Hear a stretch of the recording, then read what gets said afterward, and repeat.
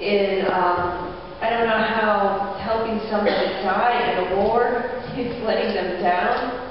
I would have assumed that it would be the opposite.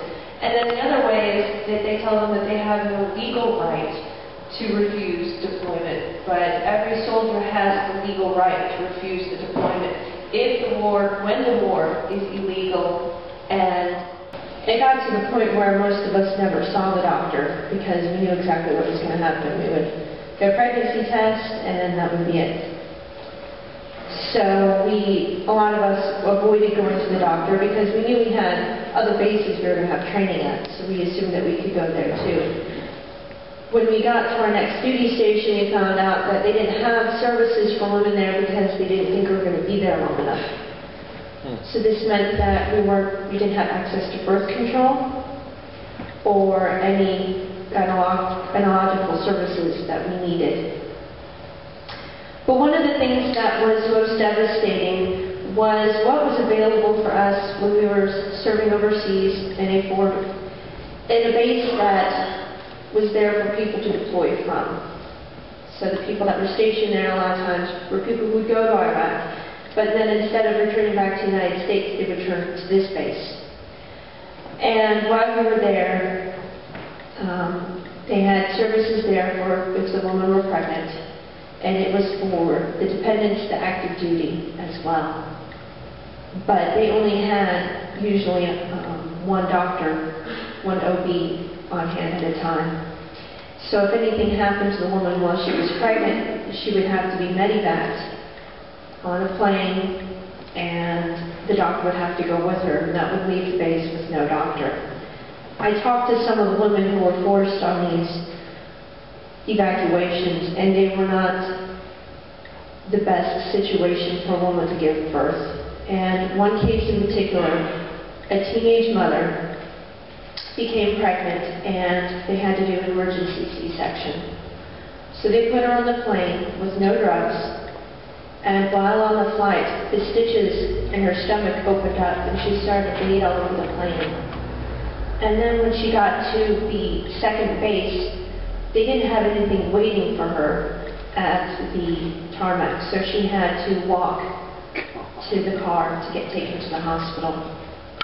And the women who were sent there to have their babies, their babies would stay in the hospital if they were in the NICU, but the women weren't allowed to stay in the hospital they had to stay across base. And so if the mothers had to go and feed the babies, they would have to walk back and forth in the, the hot weather to take care of the babies. So some of the women, they would start hemorrhaging while they were making these walks across space to take care of their children. I think uh, as much as the recruiters are responsible for murdering our children, I think we need to get out there and realize that we're all recruiters by allowing the military to have in our country. I think what we really need to do is find what these recruiters are exploiting, like the sense of nationalism or patriotism, and let these people know that they don't have to wear a uniform to be a patriot. One of the most common arguments I hear is, well, who's going to defend our country? And I'll tell you right now that if my country ever needs to be defended, I've got a rifle in the closet, and I don't need to have someone to rule my whole life.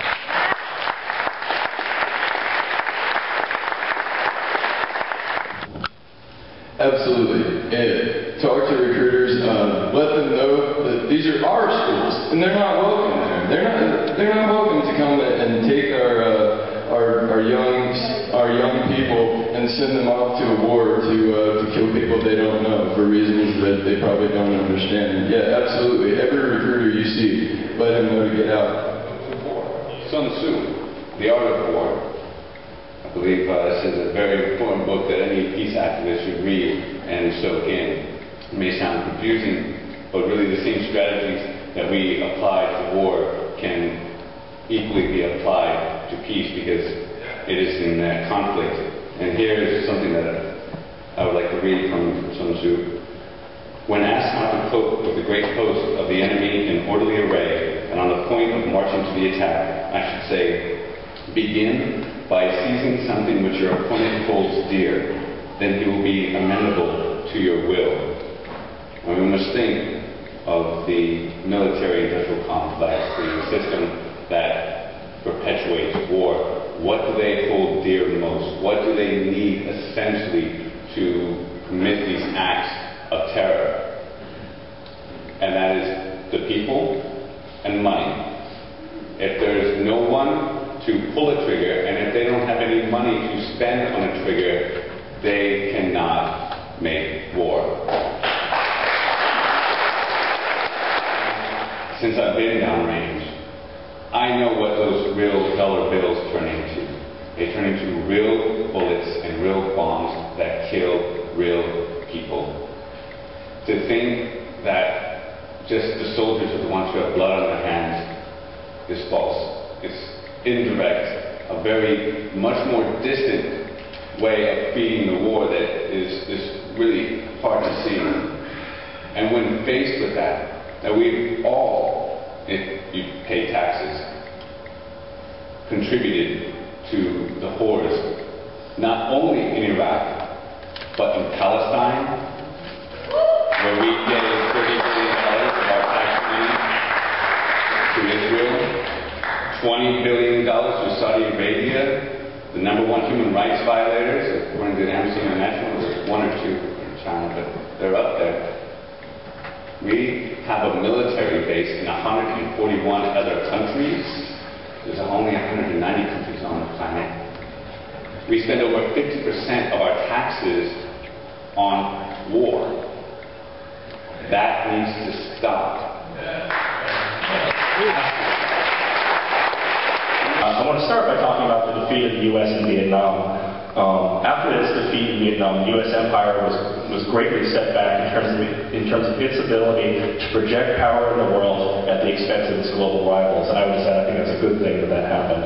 Um, now, the aim of every administration since Nixon has been to renew the ability of the U.S. military to freely intervene in the world and project the interests of the American corporate class.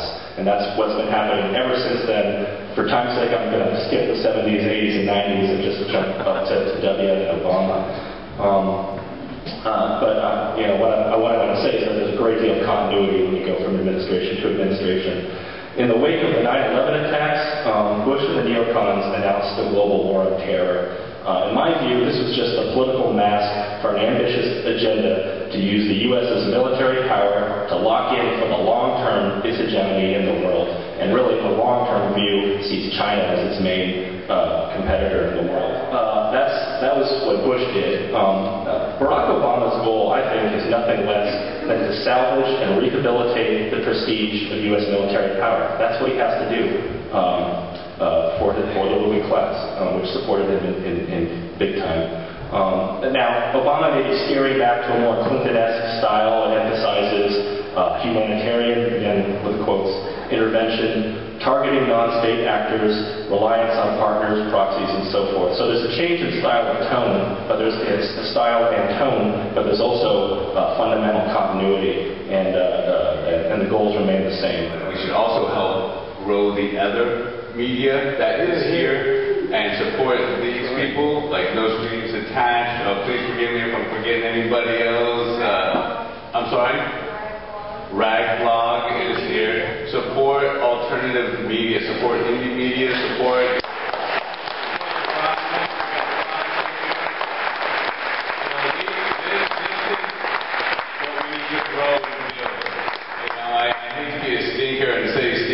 about other people, but you know, grow the positive, y'all. And the positive is here, and give give give the people with the, the media here a round of applause.